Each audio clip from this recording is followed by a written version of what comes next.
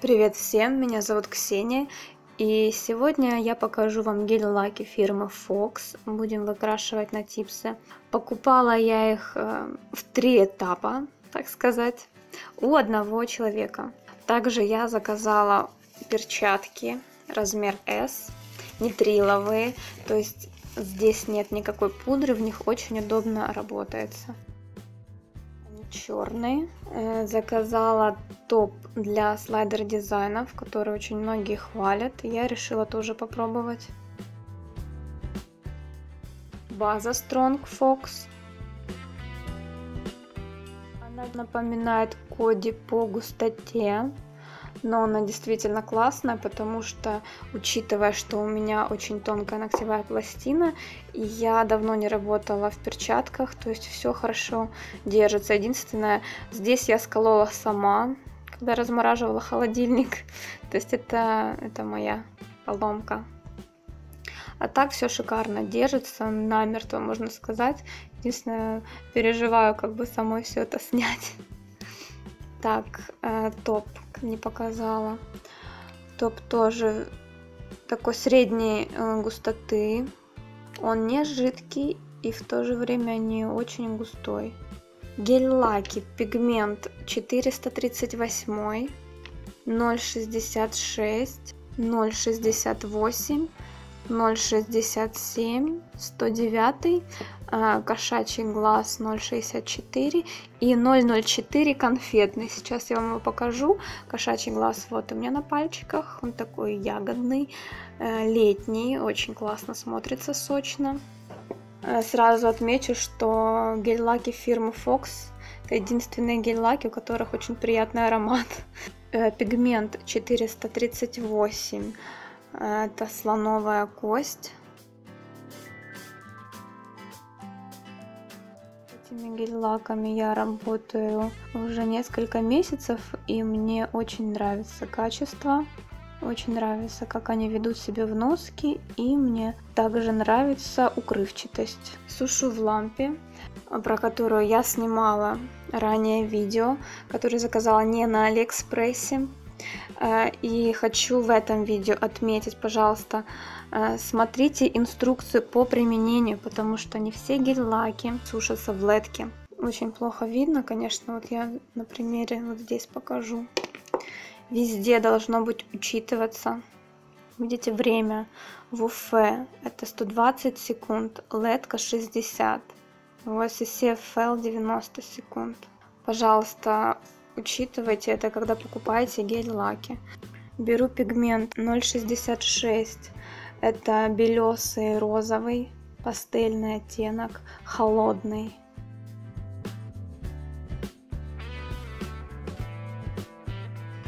Единственное, что в камеру не очень передает, что это розовый белесый.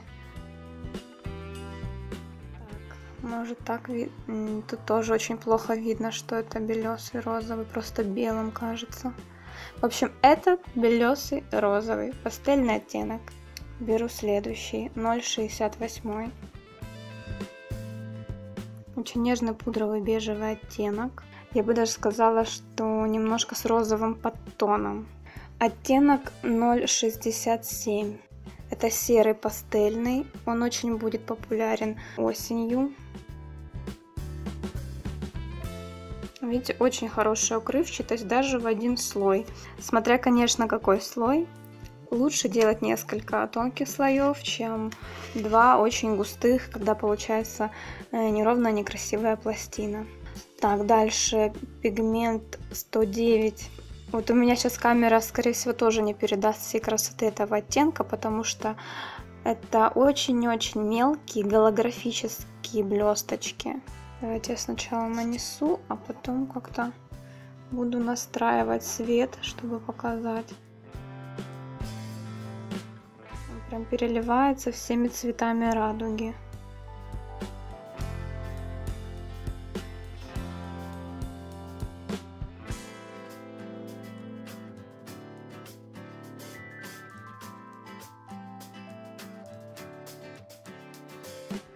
Очень круто переливается из всех, из всех серебряных гель-лаков. Э, Fox 109 стал моим фаворитом.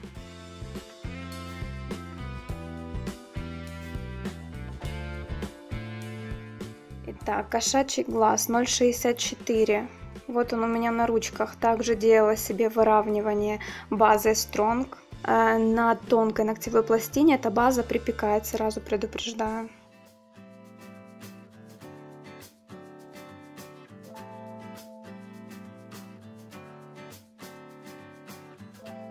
Беру магнит и делаю свечение. Ну, кстати, мне нравится, когда полосочка кошачьего глаза гель-лака идет наискось.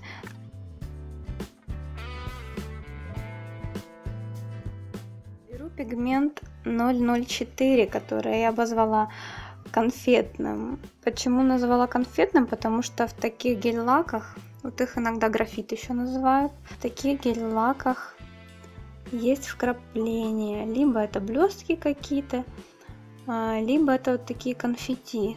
Оранжевое конфетти, белое, розовое, голубое, звездочки какие-то и шестиугольники.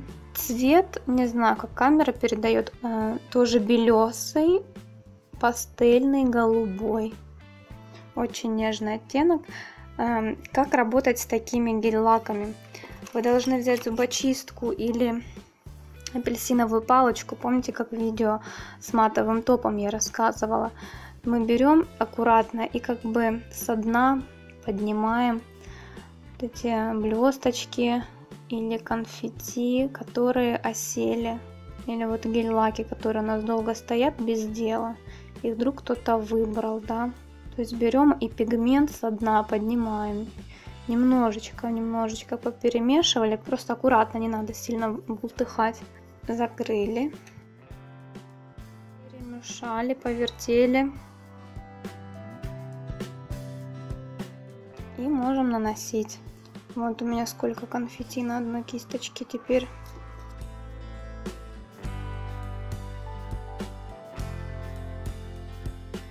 Такие гель-лаки обычно наносятся э, либо в два, либо в три слоя.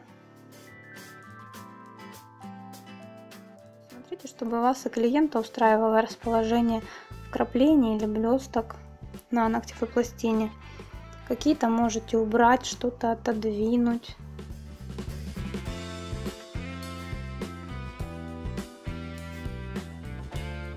Сейчас я сделаю небольшую паузу, которую вы не увидите на видео. Нанесу второй слой.